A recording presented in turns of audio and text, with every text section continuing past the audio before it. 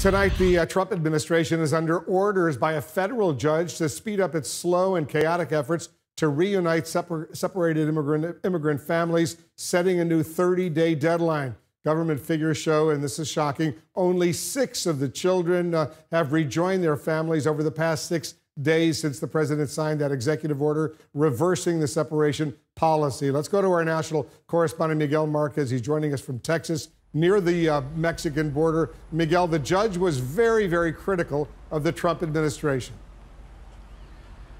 Boy, it was a very critical judge, and it's worth keeping in mind that this was a judge that was appointed by a Republican, and activists and lawyers who now work in the field trying to get immigrants uh, legal help. They are pushing the government as hard as possible to implement this ruling immediately.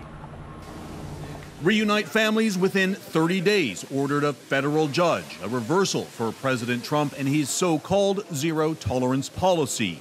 In a sharp rebuke, U.S. District Court Judge Dana Sabraw, appointed by George W. Bush, called the confusion created by the zero tolerance policy, quote, a chaotic circumstance of the government's own making saying that, quote, migrant children are not accounted for with the same efficiency and accuracy as property. The Justice Department responded by asking Congress for legislation, but that seems unlikely. The president called immigrants animals. It's a dehumanizing impact of these people fleeing their countries for a safe haven. The Texas Civil Rights Project represents nearly 400 separated families and hopes to begin reuniting them soon. Trump, escucha, estamos en la lucha the zero tolerance policy generating protest across the country. In Washington, D.C., two protests. One at the Immigration and Customs Enforcement headquarters. Protest also at a detention facility near El Paso and ICE offices in Portland, Oregon. Angelica Rebecca Gonzalez Garcia was separated from her eight year old daughter nearly two months ago. The Guatemalan mother is seeking asylum here. I'm desperate, she says. I just want my daughter back.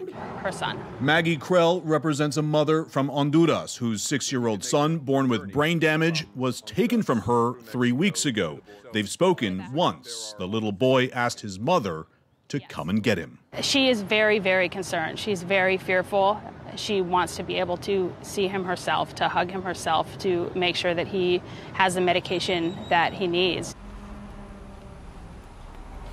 Now, the Office of Refugee Resettlement that is responsible for these minors says that it is providing quality care and its number one priority is reunification, but we have not seen that. By the government's accounting, 2,047 kids remain separated from their parents tonight.